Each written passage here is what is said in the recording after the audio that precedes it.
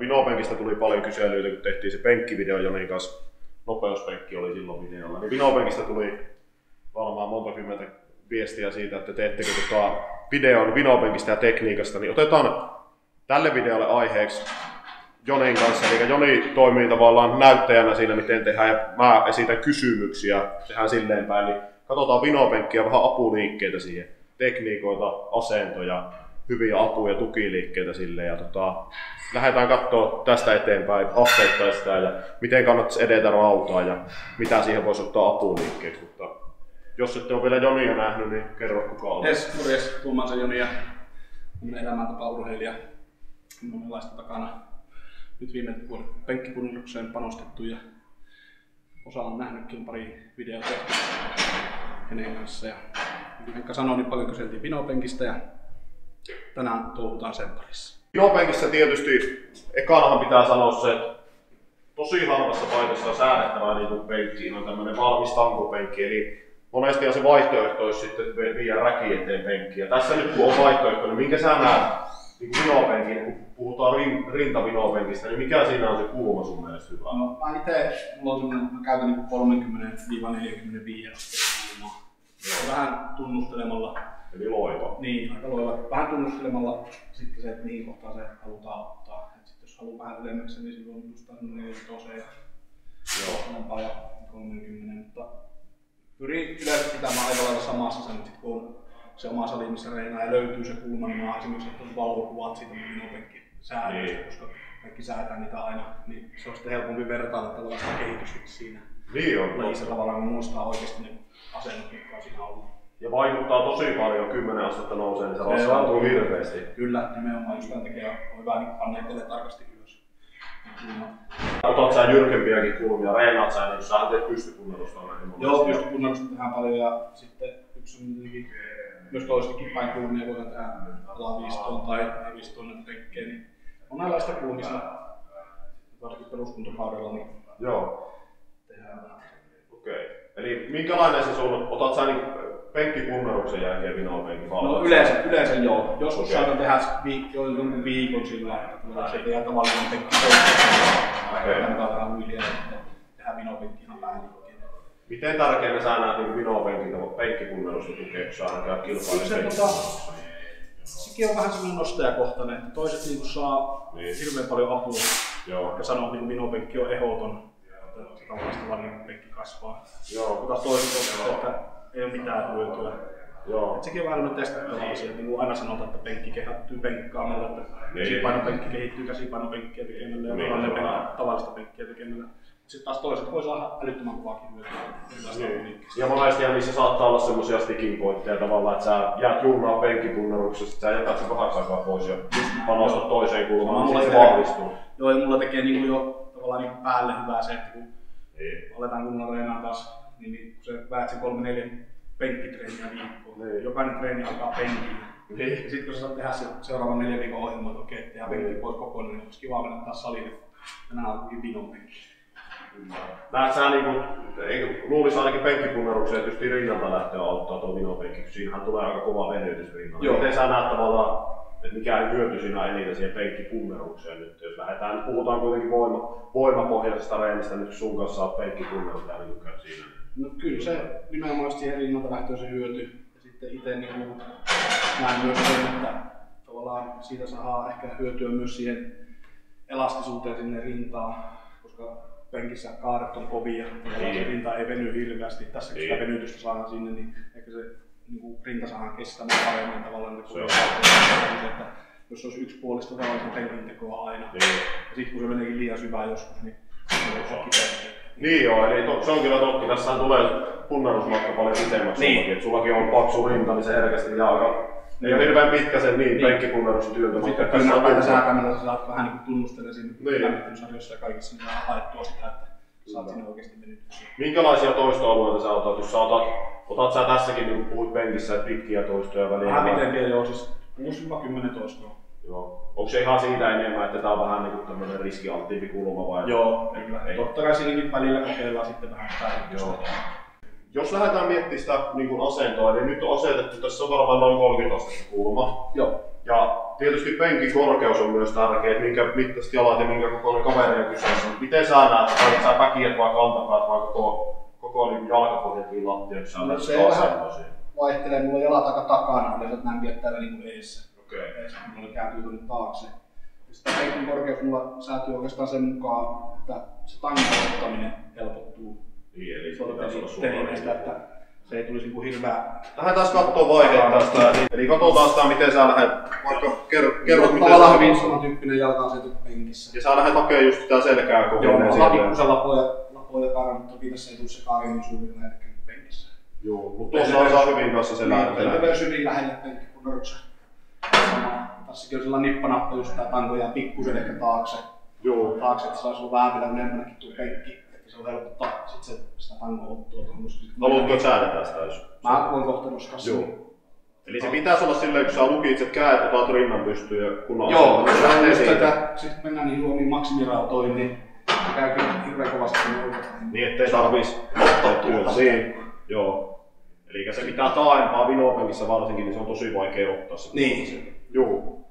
Sitten mä olen monesti lämmittelyssä, mä hain siihen reiniin sitä kyynärkulmaa just tavallaan vähän testailemalla, vähän levittämällä, supistamalla tuonne kylkiin päin. Vähän kokeilen sitä, miten, missä kipuja tai muita on ja millä pystyy tänään tekemään. Joo. Otat sä tota, koitat sä niinku laskea mihin linjaan tanko, sä otat tuohon Se tulee tuohon aika lailla.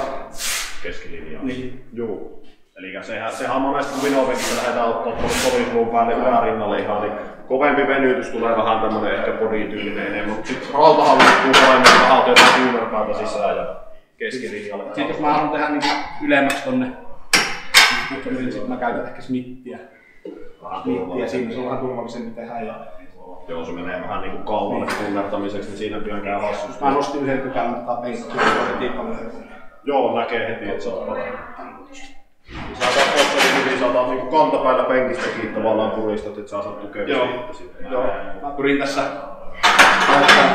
sitä niin perseen nostoa, että tässä niin helposti saadaan sitä kuluvaa loimennettua, kun mennään isoihin rautoihin, jos aletaan nostaa sitä. Niin, Pyrin myös 30 astetta. pyrin, niin, pyrin välttämään, että se on mahdollisimman puhas liike. Se ei niin sillä että saa siihen lisää kiloja. Se on hyvä. Ja sitten onko se luonnollisesti sullakin varmaan se, että kun sä lähdet tavallaan ottaa enemmän tuonne solisluulle sitä ylärinnalle sitä tankoa, niin joutuu levittämään otetta. Eli kapeammallahan se on vähän vaikeampaa. Kapeammalla saa enemmän ojentaa se vähän alemmaksi. rinnalla. Joo. Miten sä lähdet sitä Joo, mä tein niin Vinominissa aika tosiaan just leveällä otteella. Sitten mä tein pystypunneruksen vähän kapeammalla niin Joo. koko ajan siinä ajattelin, että otan sen niin kuin ajatuksen myös ojentajaan. Joo. Sehän on yllättävän hyvä myös ojentajalle. Niin on, on, kapeammalla on, tosi kova. kun, kun ruvetaan oikein työntää kovia sarjoja, niin kyllä siinä monesti ojentaja hyytyy Ekana. ekana. Joo. Kyllä. Näytä vähän sitä toista, linjaa vaikka sivusta, eli nyt on aika leveä ote siinä ja aika tuonne rinnan ke- keskipaikkeelle tanko tulee li- linjassa. Ja kuitenkin kyynärlinja tulee suht leveälle, tuosta vähän leveämpi linja kuin penkkipunneruksessa sulla. Että vähän tietysti luontaisempi varmasti venyttää sinne sitä. Joo. Yrittääkin puhtaammin hakea sitä niin rinnallista tuntumaa tavallaan. Kyllähän tuossa nopeammin tulee se venytys rinnassa vastaan just niin. Smithissä se on ehkä vielä vähän rajumpi, tuntuu, tuntuu just oikein tuonne ylös. Joo, jos siinä uskotaan niin levittää tavallaan kunnolla. Niin. Sitten jos siinä vähän niin kuin johonkin kiristääkin, niin se voi kääntää Kyllä, ja siinä ei tavallaan eteenpäin. tule sitä tätä liikettä siihen tankoon. Niin. Tietää, että se tulee just oikeita linjaa. Se on ihan hyvä apu. Varmaan Smithiä, niin kuin Smithissä tasapenkkiä, en tiedä onko voima, voimaa reenaavalle kovin järkevä homma. En, tota, en ole käyttänyt kuin missä, missä miksei se voi toimia samalla lailla, eikä se teho kiinni. No, mutta se, että niissä tulee yleensä painoja vasta vasta, niin sitten Niin, niin joo. painoja. Puhutaan punneruksesta, mutta Kyllä. toki aloitteleville penkkipunnertajille, niin miksei se voisi olla ihan Joo. hyvä aloitus, varsinkin jos ajattelee, niin kun sä teet tavallista penkkiä aloitelusta ja haluat tehdä jotain kovia työsarjoja Mm. siihen päälle tasapenkkinä smitti, niin taas välttää sitä tekniikan murtumista ja semmoista. Niin. Et vähän pääsee työntämään. Niin, vähän niin kuin yhdistelee sitä podasta siihen. Niin, kyllä. Pinopenkki on pääliike, niin mitä sä ottaisit apuliikkeeksi? Jos sulla työ, teet sä työntävät, teet sä yläloppaa, vai miten Mä, oikeasti- mä tekisin tähän niin kuin päälle vinopenkin käsipainoilla. Joo. Vähän saata muuttaa sitä kulmaa verrattuna tähän. Joo. Siinä saa vielä niin kuin enemmän venytystä Niin joo. rintaan. Ja siinäkin pyrit käytän sellaisia painoja, että tavallaan ei tarvitse niin lutistaa, että se nosto ei ole raskas, vaan nimenomaan, että se saa vietyä se paino ihan. Niin. Voidaan katsoa sitäkin tänään. Eli se ei ole semmoista runttaamista, että sä enemmän koetat just hakea sitä niin kuin... sitä venytystä. Niin, että se rinta kestää Niin sitä. vähän niin mä ajattelen sitä samalla myös niin puolta, puoltavana siihen penkkiin. Niin. Mutta kuitenkin se paino semmoinen, että toista ollut sille 10-12. Mm. 12 ja Siitä on kuitenkin paljon tota, ollut juttua viime aikoinakin, että niinku voimaharjoittelu täysillä liikerodoilla ja silleen kun hakee, niin sehän vastaa tavallaan venyttelyä sillä liikkuvuuden tuotilla. Niin. Se, sitä saa varmaan sillä haettu vähän, että sä haet niinku pitkiä liikeratoja sitten, että se Kyllä. vähän, vähän niitä nopeampiakin toistoja kestää sitten. Meillä on hyvä, hyvä tyylisiä apuliikettä. Mitään järkeä siinä ei kuitenkaan, että joka liikkeessä koitetaan aina tehdä maksimirauhaa. Ei, ei se ei ole ihan Ja se ideahan olisi niinku lämmittelyssä ja raskaassa nostossa, että käytännössä ne näyttäisi samalta ne nostot, on se kevyyttä ja raskas paino. Eli se lämmittelyidea ei ole se, että rytkytetään painoa tai isolla painolla, että se on kontrollissa koko ajan se toisto, varsinkin apuliikkeessä. Miltä tuntuu penkki? Onko hyvä tuntunut? Tuntuu hyvältä. Joo, se on tullut meille vissiin tänne mun mielestä. Siinä on sakkupainoa, otetaan tämmöistä vähän tekniikkareeniä siinä, niin katsotaan vähän niin kuin meidän näkemistä siitä, että, että miten se kannattaa se oteen leveys lähteä hakemaan. Eli katsotaan, Joni voi näyttää vähän, mikä olisi, mikä olisi niin hyvä oteen leveys ja miten sitä kannattaa lähteä hakemaan ja tavallaan, että miten hän hakee sen ja miten sitten voitaisiin lähteä miettimään, että jos sä siellä haluat harjoitella vinovenkkiä, että miten sitä voitaisiin lähteä hakemaan. Miten sä näet, että se haetaan? Miten, mikä on oteen leveyden perusta, niin jos sä neuvot vaikka Joo, no, mä tein itse sillä, että mä monesti tein sen reinin aikana niin kuin saatan katsoa useampakin oteleveyttä tai sitten varsinkin niin sitä kyynärkulmien säätäminen niin vielä enemmänkin käytän sitä. Mutta se, että kun puhutaan nyt toistumusmääristä sillä 80, niin mulla on pikkusen leveämmällä kyynärkulmia. Sitten jos mä haluan ottaa siinä vaikka jotain kovia kolmosia tai kokeilla sitä ykköstä, sitten niin kuin voi kääntää niitä kyynärpäitä ihan niin kuin penkkipunneruksessakin.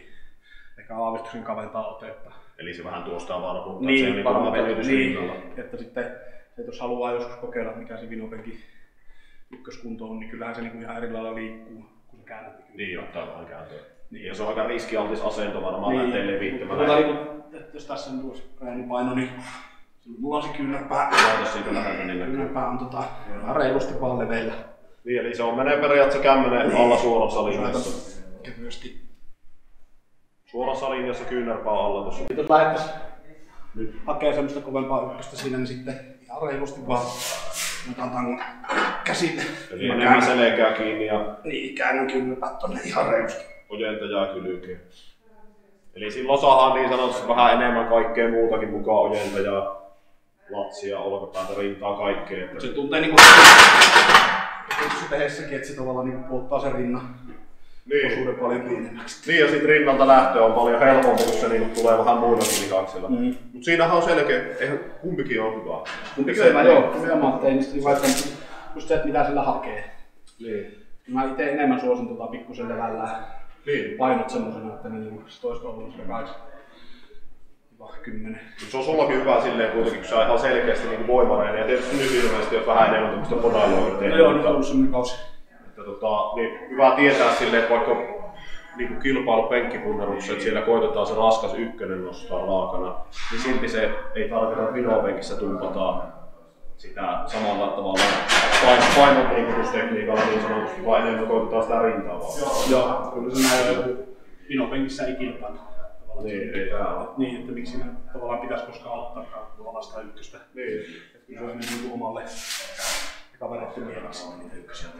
Niin, no niin, se on, että ei se tavallaan, mutta vinopenkkikin on semmoinen, että siinähän kannattaa niin penkissäkin kokeilla eri oteleveyksiä rohkeasti ja eri kohtia, ja se mikä tuntuu yleensä vahvimmalta on se vahvin, että sitä pitää lähteä tekemään myös, että ei liikaa kopioida vahvalta kaverilta sitä, miten tehdään, ja vähän poimia niitä vinkkejä. Et suoraanhan ei voi sanoa toinen, että teet tolleen, teet Ei, ei nimenomaan. Niin Siihen vaikuttaa, siihen vaikuttaa niin kaikki se kehon mittasuhteet, on Niin. kädet, kädet, Kyllä. kaikki tämmöiset asiat, niin Vinopenkki on kyllä ihan testailtavaa. Että... Miltä se tuntuu? Haluatko siellä laittaa? Mitä sä näet silleen voimatuotollisesti eroissa, verrataan Smittiin ja vapaaseen tankoon. Onko suunnilleen sama tuo? Mutta tietysti jos sä tuonne kaulalle lasket enemmän, niin sehän heti raskas. Joo, kyllä asennus, kyllä se tietenkin Smithissä helpompi on työntää, jos puhutaan stankopuutellaan samaan kohtaan. Niin. Tässä. Tulee tässä kuitenkin niin paljon kyllä vapaalla tangolla. Mm. Kyllä mä niin jos voiman, voiman tuottoa harjoitetaan, niin kyllä mä sinun suosin niin va- vapaata takaa. Aina, joo. Se kun eri. sä, jos sä ajat sun enemmän siinä niin lihaksen rakentamisessa ja vahvistamisessa, Mm. se on ihan sama. Niin, se on käytännössä. Tietysti on ehkä turvallisempi mies kuin painava. Varsinkin Niin. yksi Smithissä. Kyllä. Tietysti jos näissäkin olisi varmistimet, niin se olisi vähän... Niin, se vähän- tiedäkään kuinka. Mä näen siinä hävillä kaikki tukilihakset tekee töitä, kun se on vapaa. Kyllä. Tankopunnerukset monella on vahvistunut sillä, että pain- painotetaan ke- käsipainopunneruksia hetki. Niin sä huomannut sitä, että sä teet käsipainolla vahvistut, niin sitten se menee vähän niin epäsuorasti. Kyllä se, Tangolla tavallaan on joo, se on niin paljon helpompaa tavallaan se tangolla kuin Niin. käsipaino. Tuo mä itekin just tossa oli pitkä pätkä, että tein oikeastaan vaan tangolla. Mm. Kun alkoi tekemään ensimmäisiä käsipainoja, niin Mm. Tuntuu, että mihinkäs ne on hävinnyt. Se on haputeella. Niin, että mihinkäs ne on hävinnyt. Mutta sulla on se erilainen, mitä monella näkee, että silleen yleisesti kun katsoo vahvoja punnerteja, niin sä teet tosi kontrolloidusti. Sä et, sä Joo, mä- vauhdikkaasti koita, että se, se näyttää vähän kuin lämmittänyt ja raskaat tulee sitten samaan. Joo, mä pyrin niin kumopenkin niin aavistuksen pieni pysähdys siihen pintaan. Okei. Koska silloin se saa niin oikeasti sen rinnalla liikkeelle. Niin, nimenomaan rinnalla. Niin, niin, niin, on niinku- se ei tarvitse olla pitkä, mutta kun se on siellä Niin, että se lähtee puristumaan. Se. Tai joutuu ihan eri lailla puristamaan tavallaan sitä Kyllä. Siistiä. rinnasta, että jos se ottaisi näin. Niin, ja sitten herkästi kun saa totut tekee siististi, se, niin tota, se kontrollikin on parempi. Niin. No. Niin paino saat noussut vinnoiksi. Niin se, niin kuin yleensä tässä saa 450 kieppeillä näitä enipainoja. Okei. Se on semmoinen turvallinen, Niin. hyvän tuntunen. Niin. Joo. Et sitten jos itä ykkösiä niin se on siellä se on oikein hyvänä päivänä silloin, kun on tehnyt enemmän, niin se kunto voi olla 190. Joo. Silloin on yleensä 170 että on semmoinen, mikä lähtee niin aina. Niin semmoinen Niin valmius. tavallaan Siitä. 150 prosenttia olisi ihan hyvä. Se on ja se on siihen kuormaan laskettuna, niin se alkaa olla aika hyvä kuorma. Mm. Sarjapallo. Niin. Ja sä, se on siistiä vielä, kun saa, jos sä tolleen otat, että kontrollit oikein. niin se on- Joo, se on pitää aina. Se- En tiedä sitten eilen kävi tekemässä. Että miten se. Niin. Ja tietysti tässä huomioidaan, kun tehdään video, niin tämä ei ole tarkoitus tehdä mikään kovaa reeniä. Eli viimeksi tehtiin vähän sitä nopeuspenkkiä. Joskus on voidaan ottaa jotain reenata vaikka yhdessä tehdään ihan reenivideo. Semmoinen. Hulluttelu. En mä, en mä pysy punneruksessa mitenkään mukana, mutta voidaan myös jotain muuta koittaa tehdä. Mitä kärsitään. Mutta sulla on selän kanssa vähän ongelmaa, niin voidaan koittaa siihen soveltaa jotain. Niin. Miten sulla on muuten punnerustaso tällä hetkellä? Onko liikkunut ihan pilalla? No joo, mä en no, pitänyt pari viikkoa sitten kokeilin pitkäksi aikaa 200. Kyllä se liikkuu helposti. Joo. Et se on varmaan jossain siinä nyt tämmöiset 20 25 kunnossa olla, vaikka on niin rannut Joo. tässä pitemmän pätkän ja pikkusen niin kisakaudelta viime, viime kesältä niin paino, mulla on 105 kilon aamupaino. Mitäs se oli silloin 100? Se oli niinku 112 114 oli Niin silloin viime elokuussa. Niin kyllähän se näkee tuon Niin. nestepaino alasvaihin lähtenyt. Joo. Ne oli ihan kiva fiilis. Vähän. Muutenkin pikkusenkin olen käynyt kävellen ja saanut kaikki säryt pois. Joo. Tää tulee Ei tuo nivelsäännökö kyllä. Niin, se toi painan kolistele, niin aina pakottaa joo. No on se varmaan se kisa, semmoinen kisakausi muutenkin, aina se käy niin nivellille sitten. Kyllä. Särkee ranteet ja kyynärpäät koko ajan. Vois Niin tästä seuraavaksi sitten kamppaillaan tavallaan se henkisesti sen kanssa, että huomaa miten kivaa tää on reenata ilman sitä, niin sitten lähdetäänkö siihen Stressiä. paljon enää. Tää kun taas sitten on niin kilpailuviittinen ihminen, että Niin. nyt tuntuu, että ei huvittais kilpailla, niin se voi olla, että kyllä päästä. Se on vähän aina se, että se on ehkä pääkopalle kivempää semmoinen, kun hyvässä kunnossa pysyy silleen, kun reenailee kovasti. mut Niin kovaa ilman, pakonomaisesti, että, niin, että sattuu mihinkään tai. Niin, se menee aina sit, jos se menee, että sä koetat sun parasta sitä absoluuttista parantaa, niin se menee niin rajuuksi nivelille. Semmoista, että kärsii Eli käytännössä sitä jääpyssyä ja kaiuta ja Niin, mietitään kummalla kylällä voi nukkua tänä iltana. lämmäpäivä on kiva reenata, mutta sitten illalla kun rupeaa, niin se, se alkaa tulla. Ja se on ihan selvä, kun säkin oot vuosia reenannut, että jossain vaiheessa rupeaa kolottaa. Kyllä. Koitetaan Tässä tota samalla vähän, On- sitten kun mennään niihin sopipainoihin, niin jos on kaveri salilla mukana, niin, Eli annetaan käsille sitä niin pieni käsille avustus on oikeastaan aika hyväkin. Niin, ja Vinovemissa varsinkin se tulee, tota, tehdäänkö me silleen, että mä annan käsille Sit sä... Mä sain itse linkiksi. Joo. Sano, sano sitten vaan. Mä annan tästä. Joo. Sano vaan.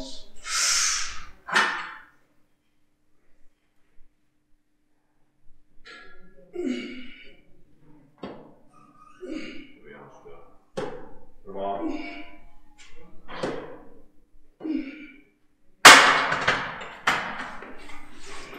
Aika hyvä, hyvä oloinen penkki kyllä niin kuin minua penkistä. Tuo, tuo, tuo, tuo, ainakin sulle osuu tuo asento hyvin kohdille. On. Helppo niin antaa käsille ja sitten...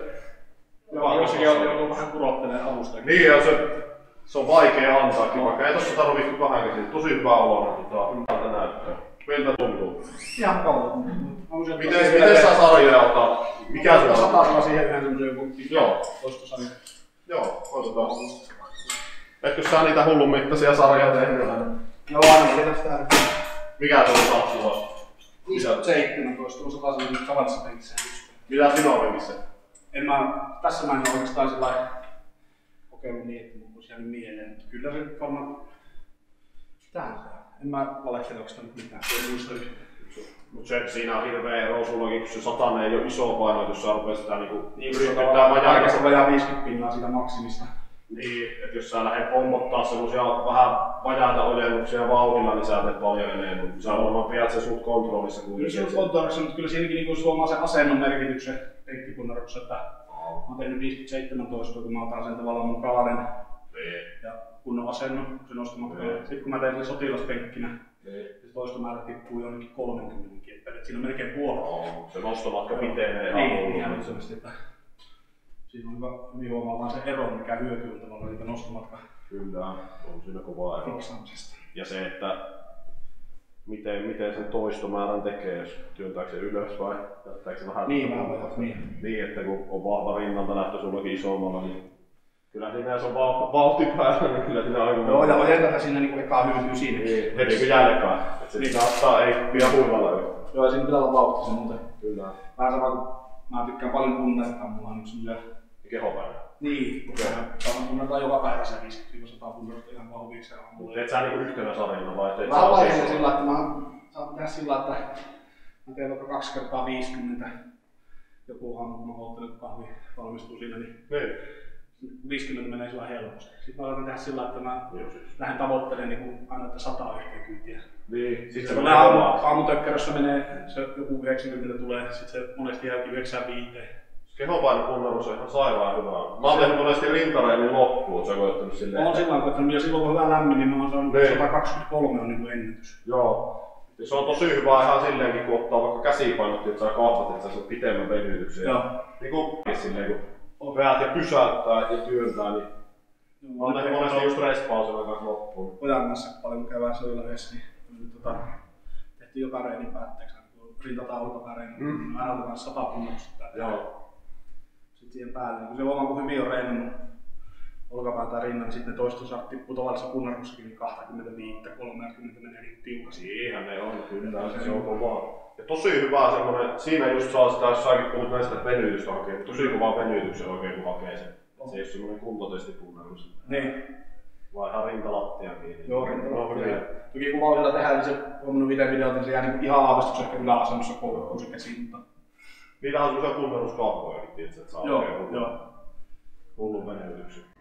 Tehdään silleen, että tässä vinopenkissä testaa, kun on valmis, niin katsotaan vähän sitä käppäri-vinopenkki. Mitä, mitä siinä voisi olla muuta apuliikettä, jos miettii. Katsotaanko rinnalle vaan ojentaa joku, miten sä ottaisit, jos sä ottaisit vinopenkin. Mulla on, oon tehnyt, mä reenaan sillä, että mä reenaan rinnan aina omana. Mä reenaan Okei. okay. kanssa. Okei. Eli siinä oli alavinopenkistä, puhuit sitä kanssa. Joo, alamistopenkki on mun mielestä aika hyvä. Semmoinen ehkä, mitä vähemmän näkee nykyään salilla tehtävänä. Onko täällä ala, jos ei täällä alavistopenkkiä, niin voidaan ihan katsoa niin, Niin. niin. että levy on penkin alle tai... Niin, säädettävällä penkillä sinne vaan kulma vähän. Niin, Ei se tarvitse paljon nimittäin olla niin, sen kulman. niin.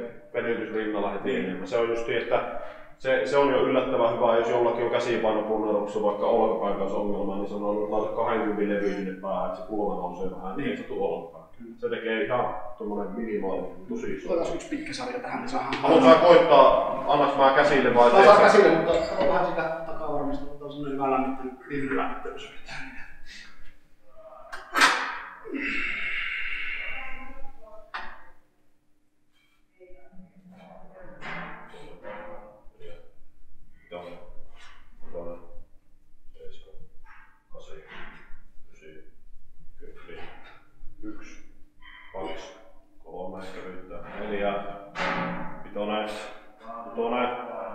Seiska. Kasi, hyvä. Ysi. Kymppi.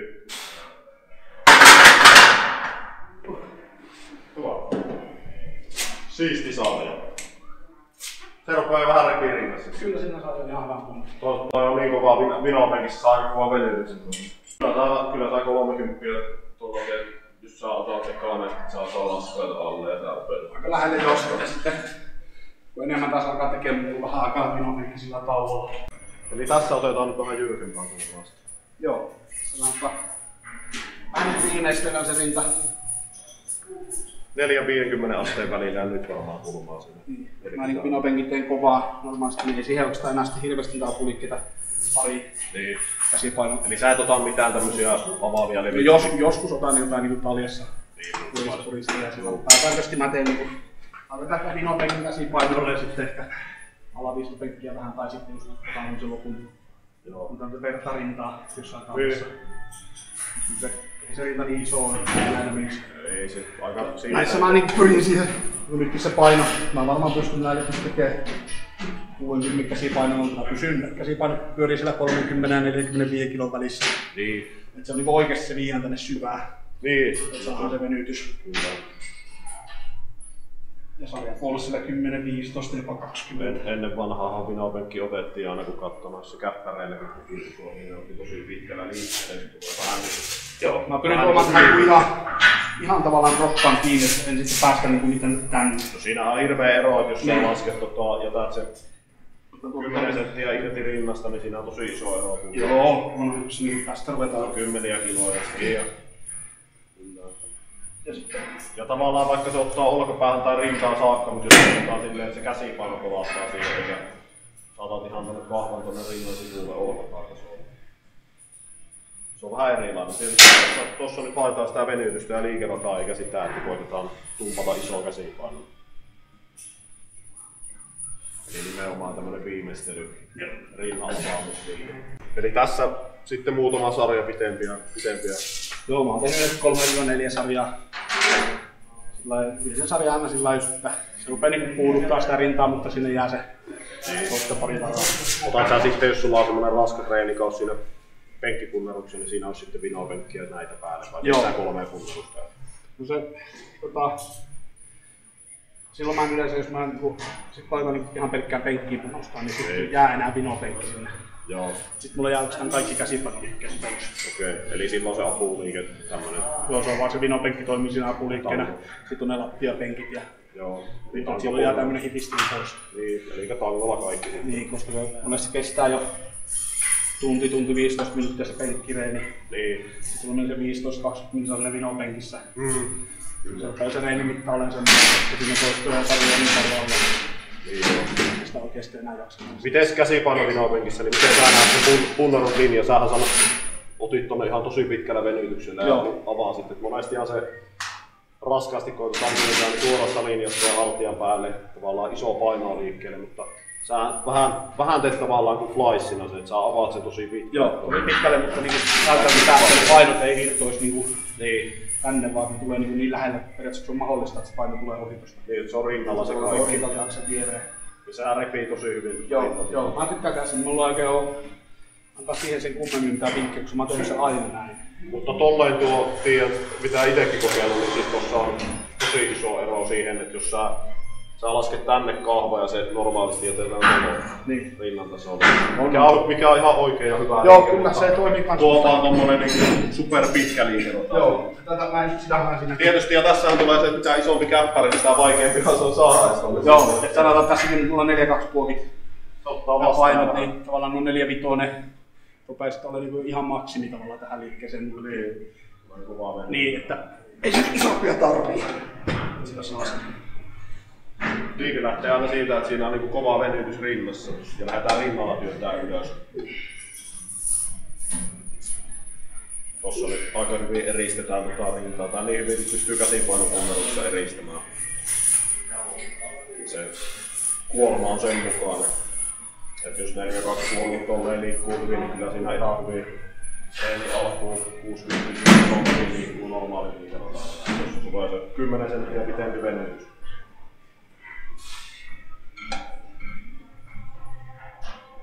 Stoppia tuolla. Ja se on hyvä huomata tavallaan, että säkin vaikka sä niin voima niin sä, sä varioit niitä liikkeitä, että se ei ole vaan sitä, että siinä tumpataan painaa liikkeelle joka liikkeessä, vaan tämän selkeästi teet sen, siinä on se liike, missä sä haluat sen voimaa ja sitten muissa tuetaan sitä, vähän niin kuin ehkä niitä heikkoja kohtia, onko se joo, kyllä se, joo, kyllä se ajattu sinne. Niin kuin koko ajan ajatella sitä, että se kilpailla. Niin, ei se ole käsipaino niin. mielessä. On se olla salinkin saa jonkun mielestä. Niin. Tekee rinnalla. Pieni stoppi katoa ja näin, se joutuu oikeasti ruuttaa tätä rinnalta, niin jossakin tuo kympisarja, niin ne viimeiset pari toistoa, niin, niin painaa, se tuntuu jo niin kuin, että se räjähtää se rinta tavallaan. Niin. Tuntissa. Mutta sillähän se tulee se rinnalta lähtö. Kyllä. Eli sä painotat hyvin paljon tuohon, että mitä, mikä auttaa sitä niin lähtöä ja venytystä jo voimaa siitä. Onko sulla just se niin kuin, heikko, heikompi, jos sä mietit, niin onko se rinnalta lähtö vai ojennus vaikeampi? No mulla on varmaan, sekin vähän vaihtelee. Siis sillä on pääsääntöisesti mulla on niinku hyvä rinnalta lähtö. Joo. Mulla on tuossa pitkä kausi no viime vuonna, kun mä rensin, että mulla oli, ei ollut oikein avustajia. Joo. Rensin yksin, niin huomasin, että niin rinnalta lähtö kehittyi. Niin. Koska painot oli semmoisia, että tuli aina varmasti ylös. Niin. Et sitten kun on avustajat, niin pystytään treenaamaan yliraskailla taas niin loppuojennuksia ja kaikkia. Niin sitten niin. niin Otat sä lankkupenkkejä tai otat sä... Kyllä niitä otetaan vielä. Pinna, pinnapenkkejä teet? Joo, pinnapenkkiä on hyvä. Pinnapenkkiä mä oon melkein enemmän kuin lankkupenkkiä.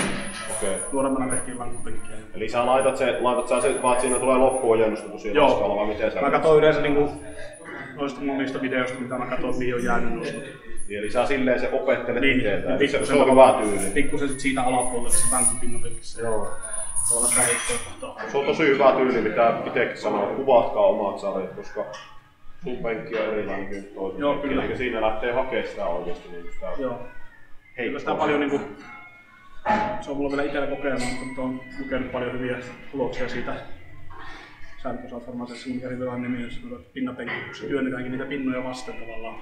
Niin, niin on mennä, että sä niinku alakautta, että Joo. vasta. Joo, Joo. Se, se, on hyvä. Tavallaan yrittäisi työntää läpi. Niin. Sillä ei tarvitse käyttää raskaita taakkuja, vaan niinku Niin, jos nimenomaan työnnetään aikaa eikä toistoja, vaan että sä työnnät vastaan niin, ja pidät se sitä.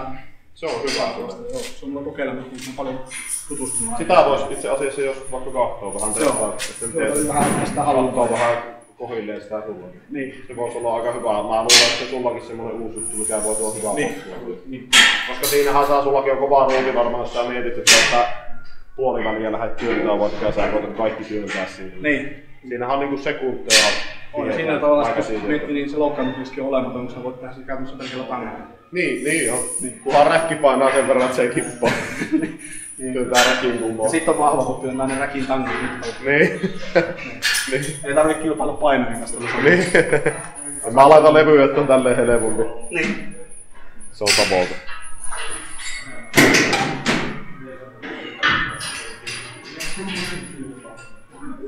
Sama kuorma vielä. Toinen, toinen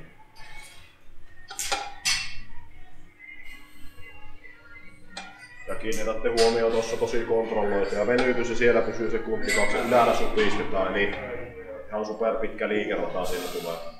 Nimenomaan rintalihakselle, eikä se, että työnnetään vahvinta kulmaa, vaan työnnetään sitä raskasta ja koitetaan kapeassa linjassa lasketaan, niin rinnalla pysyy hyvin se paine siinä, eikä lähde viemään etuolkapäätä liikaa.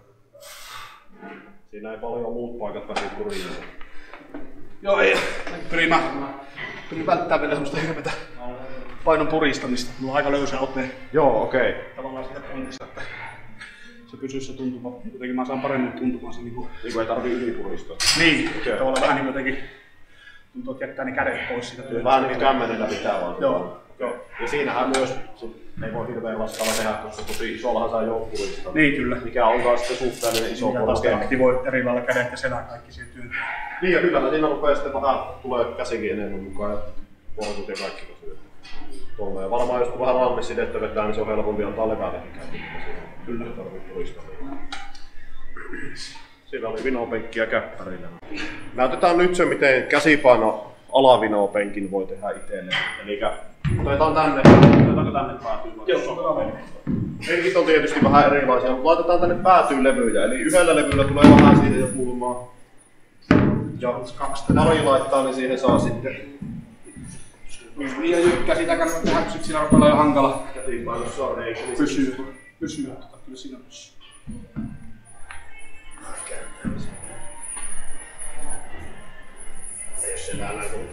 Jos se liian jyrkän tekee, niin valuu penkiltä alas.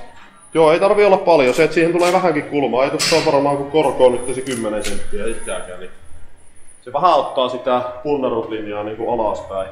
Niin toisin kuin moni ajattelee, niin kyllähän alavinan kulma on koko rinnan liike tosi. Kyllä. Eli se ei ole mikään alarinnan liike.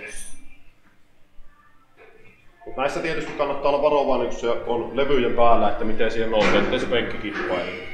Tässä kun katsotte punneruslinjaa, niin se tulee heti pikku alakulmasta ja tuossa saa vielä pitemmän punnerusliikeradan kuin vinopenkissä.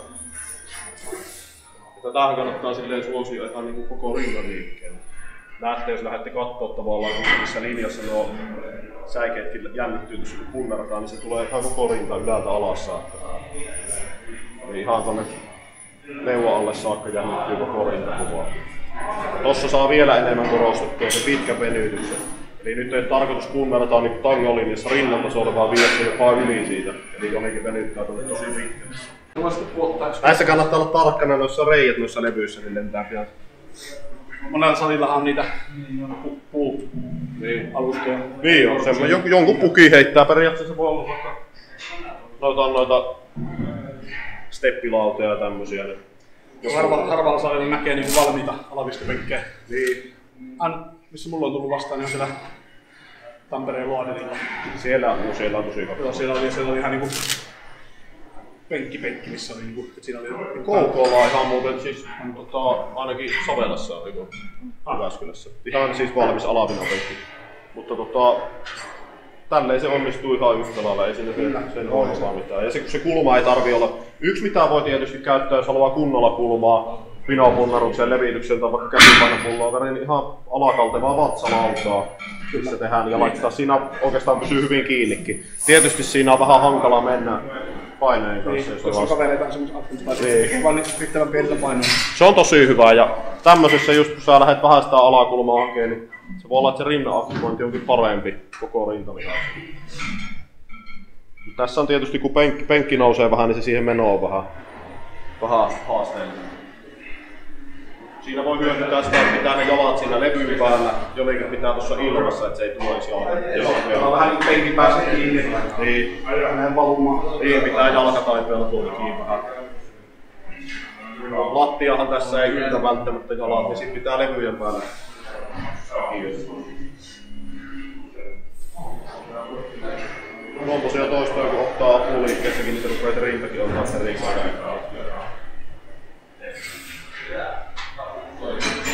Katsotte sitä tavallaan, miten se lähtee tuolta ylältä saakka ne rinta aktivoituu, niin se, se on koko rinnan liike tosi hyvää tuo ala. Varsinkin käsipainoilla. Tosi semmonen ehkä aliarvostettu liike, mitä harve, harvemmin näkee tehdään. Ei tota hirveän usein kukaan Ei, näistä ei. tekee, mutta on hyvä. On. Ja voi ottaa levitystä, voi ottaa punnerusta. Kyllä. Mä saan ainakin, mulla menee niin tosi hyvin rintaan. Miten, mi- jos mietit koko rinnan liikkeenä, niin on, onko jopa paremman tuntu niin kuin tä- tälleen, jos mietit aktivoinnilta niin kuin penkkiä ja Oh, vinopenkkiä? on. Parempi tää on kuin ylävisto. Koska tuossa näkee varsinkin, kun sä työnnät, niin se, vaikka se on hassu ajatella sen kulman mukaan, niin ylärinta siinä supistuu kovaa kanssa, kun sä työnnät oikein ristiin niitä. Niin. Yksi vähän kovempi saa.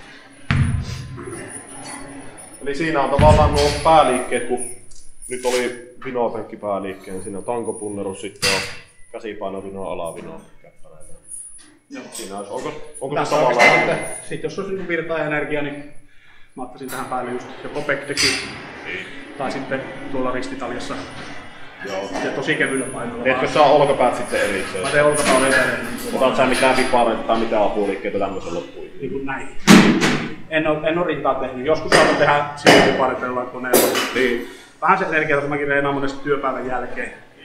Niin vähän sen, että miten on sitten energia tässä ajatusta. Tuntuu, että se menee vähän hukkaan, jos ei jaksa kunnolla. Niin, ja säkin teet hyvä, silleen, hyvän levon kanssa sarjat, niin se vie äkkiä, kun raskasta koittaa Niin, tehdä ja antaa hyvän, hyvän panoksen sarjoihin, niin se vie aikaa kuitenkin. Pari kolme sarjaa tulee vähän semmosia helpompia sitten Joo. viimeisessä vähän runttaa sitä. Niin tää on tavallaan nyt viimeinen, niin. Niin, niin vähän isommat sitä. painot ja ketä siis sinä nostat? Kyllä tuo helvetin helveti kaukata ruuttaamisesta vielä. Aika siistiä pysyy.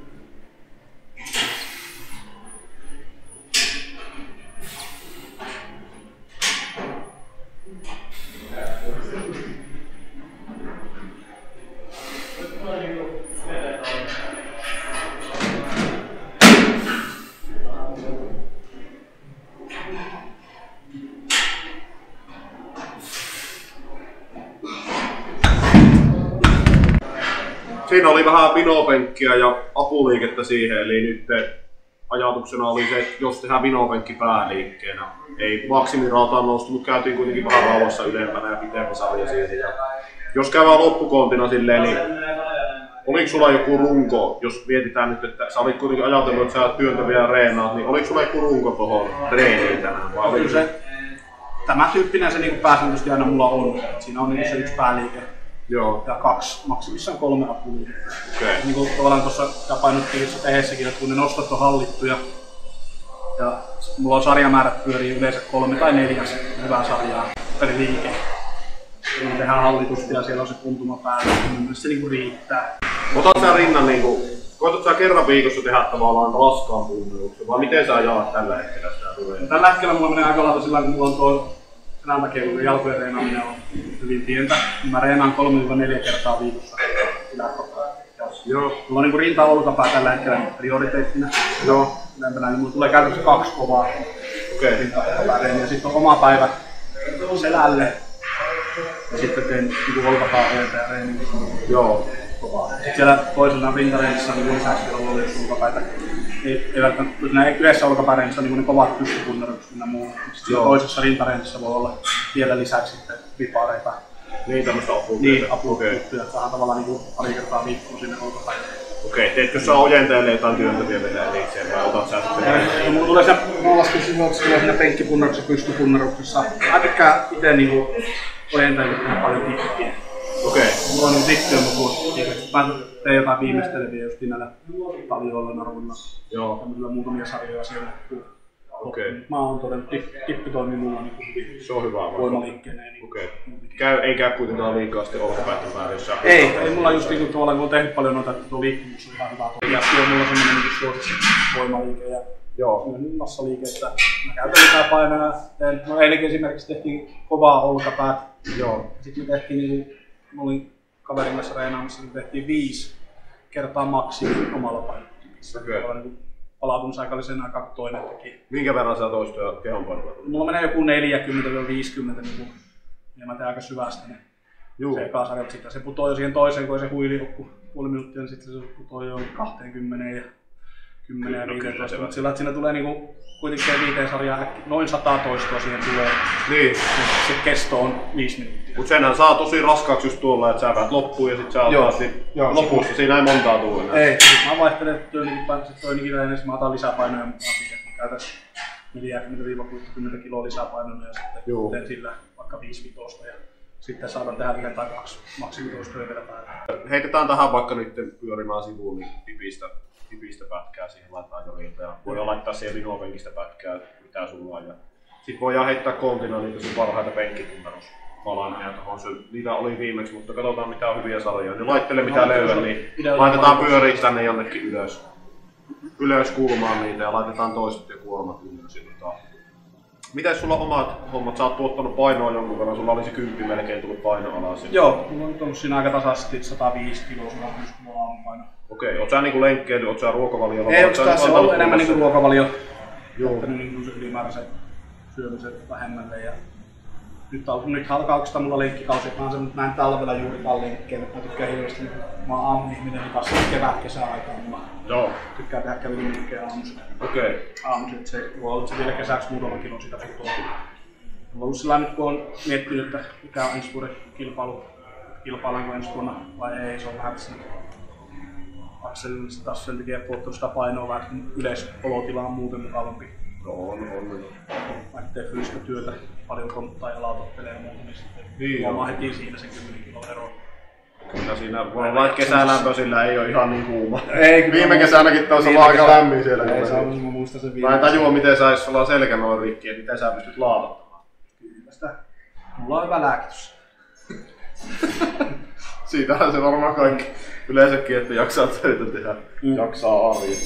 Mutta se, miten se selän kanssa muuten etenee, on siinä tullut mitään hoi, hoitohommaa? Se on jouluna, jouluaikahan se diagnosoitiin sitten lopullisesti, eli siellä selkäydin kanava on tukossa ja Okei. nelospitosvikamman väli on tyhjä, niin vähän puristaa sitä. Painaa hermoa. Niin vähän se. Mutta se selkäydin kanavan leikkaus on tällä hetkellä kuulemma liian riskialtis hyötyihin nähden. Eli mun hoitosuunnitelma on tällä hetkellä se, että mennään lääkkeellä. kun Elämä pystyy, nyt, pystyy tosi normaalisti elämään muuten. Et lääkkeellä mennään. Et sit kun toleranssit nousee, että joutuu liikaa syömään lääkkeellä, sitten tehdään, on joku selkäydin kanavan puudutus.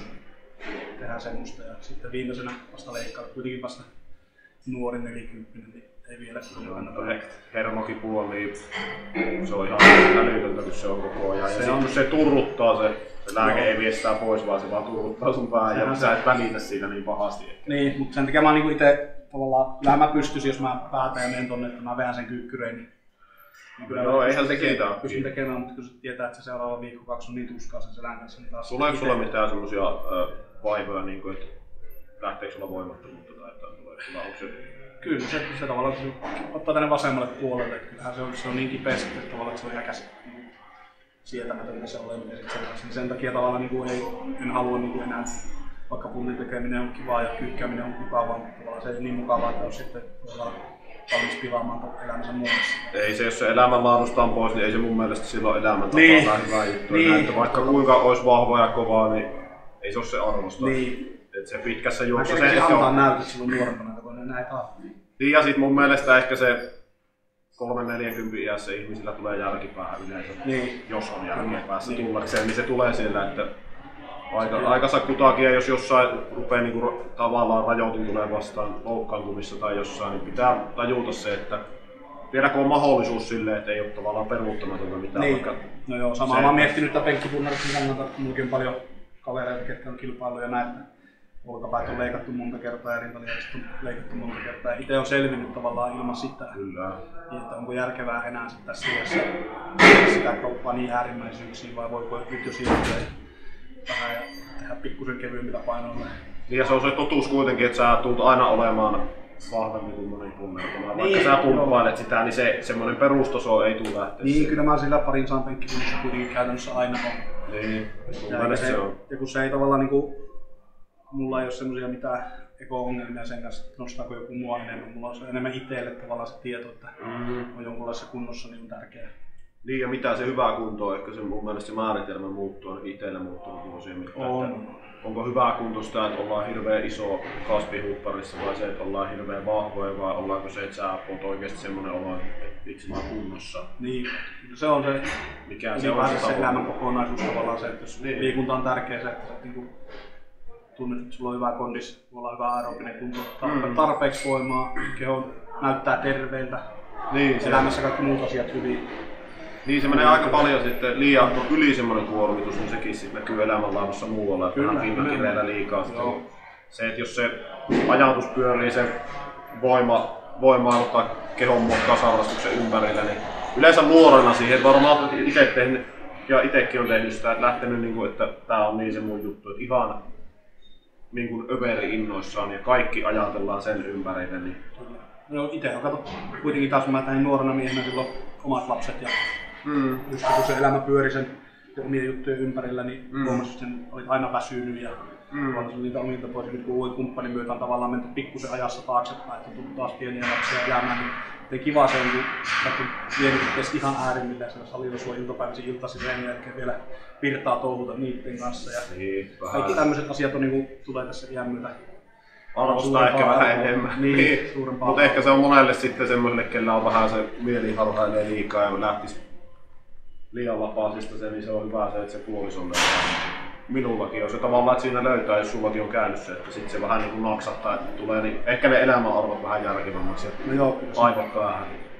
Se, se on yleensä se semmoinen Ajatustapa tavallaan koko elämästä muuttuu. Niin, se, että on vähän niin kuin oikeasti joku järkevä syy siinähän sitä, se tärkeämpää on se oma perhe. ja- Että se reeni on hyvä, kun se rakentaa siihen ympärille ja se on, se on tärkeä, ainahan se tulee olemaan osana, mutta Niin. Joo, ja se on semmoinen elämäntapa, että ei sitä koskaan luovu eikä piäkään luovu. Koska hyvässä kunnossa pystyy olemaan tosi pitkälle ikää, mutta sitten jos se koittaa niin rajoittimelle hakata sitä aina, niin kyllä se rupeaa 3-40 iässä Kyllä. Joo, se rupeaa tulee alaspäin. Mä puhuttu aikaisemmin videolla tästä, kun se pitää niinku osata erottaa se kilpaurheilun kuntourheilusta. Niin, Kilpaurheilu se... ei ole millään tavalla terveellistä. Se on niinku, ei se on. Se on kun viiän sitä kehoa äärimmillään koko ajan. Niin... Ei. Niin se on rajallinen se. Niin. Kuntourheilla voi kovaa ja pysyä hyvässä kunnossa ja reenata kovaa. Ja... Niin. Kun se sit, kun sä viet siitä hyvästä sen tosi kovaksi, niin, niin se, se on vaikea ja se vaatii hirveän panostuksen, mutta se, että sä pysyt hyvässä kunnossa, niin se ylläpito on paljon helpompaa kuin tavallaan monen asian saavuttaminen. Se, semmosia ajatuksia, mutta jos, jos tulee jotain mainittavaa, haluatte kysyä jotain meiltä, haluatte uutta videoa, voidaan tehdä vaikka reenailla yhdessä, katsoa vaikka Jonille joskus niitä, kun on selässä ollut sitä, niin onkelmaa puhuttiin, että katsotaan videolle tai erikseen, mutta katsotaan niitä. Niin, mä luulen, että siinäkin on Samanlaisia ihmisiä löytyy paljon, kellä on selkävaivoja, niin voisi no joo. Ja sulla on ni, nime, niin siellä kameran takana ja täällä minä. Niin. Kaikilla on. Se on enemmän, onko se kilometreistä vai? Niin, kyllä se varmaan menee niin, että kaikki, jotka joskus on elämässä tosissaan reenannut urheilun, niin jonkunlaisia vammoja on aina. Tota, laittakaa kysymyksiä ja laittakaa Jonian seurantaan somekanavista. Laitetaan mä lisään tonne Jonin Instagramia tonne kuvaukseen alle. Ja toiveita voidaan tehdä yhdessä videota. Joni on hyvä viedä siitä, sen kanssa pystyy juttelemaan asioista hyvin ja se on tavallaan itse aktiivinen keskustelemaan myös, niin on kiva tehdä. Ja hyvä palaute oli viimeksi siitä, kun tehtiin, niin sillä tehtiin uusi. Vähän, vähän venähti vuodella tähän nyt, mutta aikatauluja ei aina saa osumaan ja tehtiin kun luvattiin. Vinopenkistä pyydettiin ja se tehtiin ja vähän vielä ekstraa siihen. Ja onko sulla jotain loppu, loppusanomisia, haluatko kertoa jotain? Ei. Ottakaa sieltä vinkkejä, jos löytyy ja ottakaa Heneen seurantaa. Siellä on, minä seuraan Heneen ja siellä on todella hyvää asiallista tekstiä ja juttua tulee koko ajan Henkalta ylipäänsä reenaamiseen ja syömiseen ja elämän suhtautumiseen. Ja... Muistakaa, tota, Jonilta saa kysyä, alalla tossa saa kysyä mun kautta, saa kysyä Jonilta vaikka viestillä. Se on semmonen kaveri kanssa, mikä vastaa, eikä varmasti sitä vastaa, että joku haluaa kysyä Junnulta kokeneempikin vinkkiä siinä, mutta kiitoksia tästä videosta. Muistakaa tilata tuon kanavan ja heittää peukkoja, vaikka jakaa sinne Instagramiin tarinaa, niin arvostetaan paljon. Kiitoksia sulle. Kiitos videosta. Moi moi.